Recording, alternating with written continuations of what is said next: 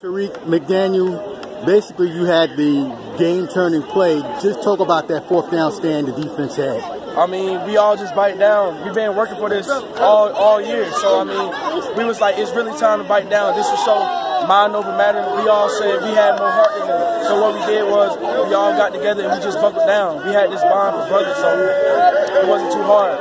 Brought down, God had us. Seemed like in the first half there, Wing T was giving y'all difficulties. Then y'all got that stop before the half. Did that give y'all confidence? Because they didn't, basically, they didn't score again after that. Uh, that, that did give us some momentum. That gave us a little hope too. We was just really getting to the flow of things and starting to understand. Once we got that, we all put things together and everything just smashed together. When you have a play like you had to recover the ball, just when you get it, what do you sort of what's going through your mind when you see the wide open field in front of you? I mean, God always brings us to uh, many doors, and I had to step through it. So the ball was right there, and I took advantage of the situation, and I did my best.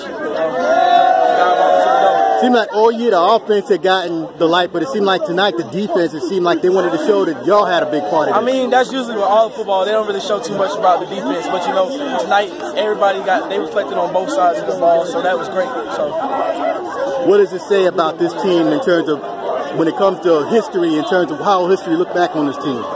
I mean, it just show it just shows how much hard work we put into it. Like we've been grinding since last championship season. We was back in the weight room Monday, that Monday after. We had the weekend off, but we was back working because we knew what we wanted to do. We wrote down we wrote down our goals and we achieved.